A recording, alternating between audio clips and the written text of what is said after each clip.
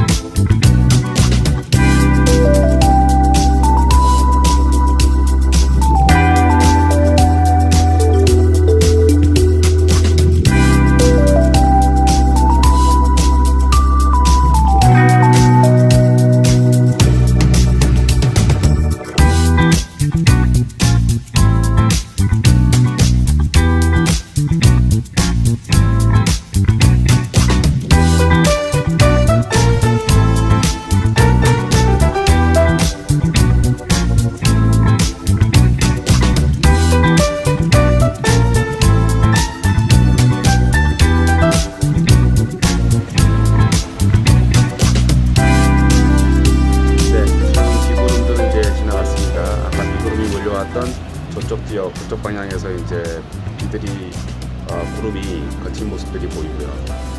쭉 보시면 예, 다 이제 시꺼멓던 어, 비구름들도 사라지고 없습니다. 예.